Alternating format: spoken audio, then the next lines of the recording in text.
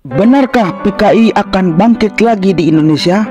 Jawabannya jelas tidak bisa karena sebab-sebab berikut ini. Yang pertama, di Indonesia ada undang-undang yang melarang paham Marxisme dan Leninisme alias komunisme.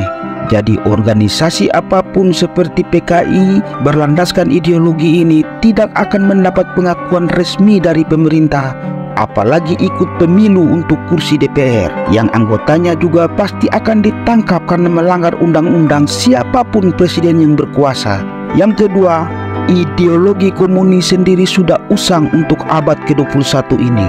Sosialisme dalam banyak bentuknya sukses di negara-negara maju seperti Inggris, Kanada, dan negara-negara Eropa yang banyak menerapkan sosialisme, fasilitas kesehatan dan pendidikan gratis dan lain-lain yang disediakan negara. Tapi coba sebutkan di mana ada negara komunis baru yang lahir pasca bubarnya Uni Soviet?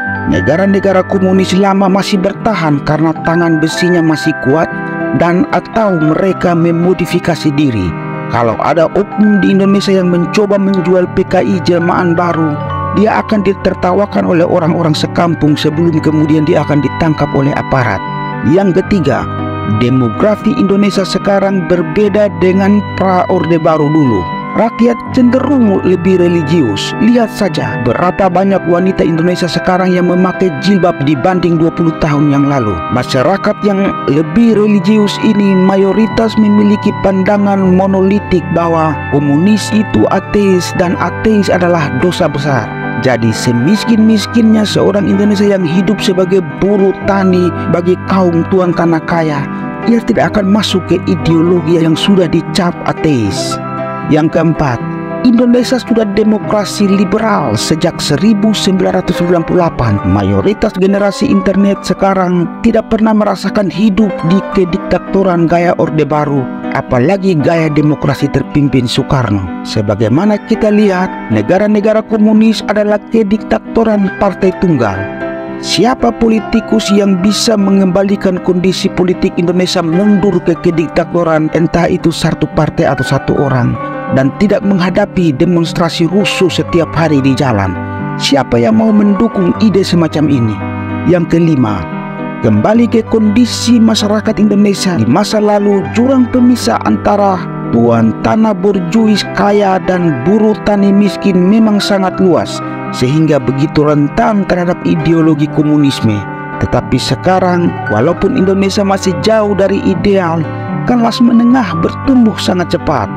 Banyak solusi ekonomi yang tersedia selain membuat revolusi ataupun melakukan reformasi agraria seperti industri rumah tangga, penyediaan jasa lewat internet online dan lain-lain. Jadi, secara sosial ekonomi, benih-benih komunisme tidak akan bisa hidup di Indonesia. Yang keenam, secara geopolitik, Indonesia tidak lagi menjadi garis depan perang dingin seperti di era Soekarno dan Soeharto dulu.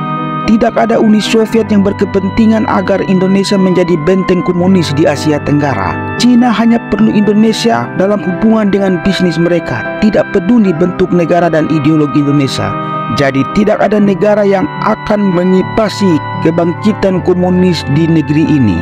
Bangsa Indonesia juga tidak dalam mindset revolusi anti neokolim dan sejenisnya yang membuat PKI laku jualannya seperti di tahun 1960-an bangsa Indonesia lebih peduli dengan pemberantasan korupsi, pertumbuhan ekonomi, dan dampak hutang negara.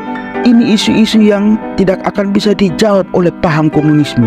Jadi siapa pun yang mencoba berkoar-koar menakut-nakuti bahwa capres A ini keturunan PKI atau capres B ini memiliki pendukung dari PKI underground cuma akan dipercaya oleh orang bodoh atau orang yang berpura-pura bodoh karena kepentingan politiknya untuk pilpres. Salam waras.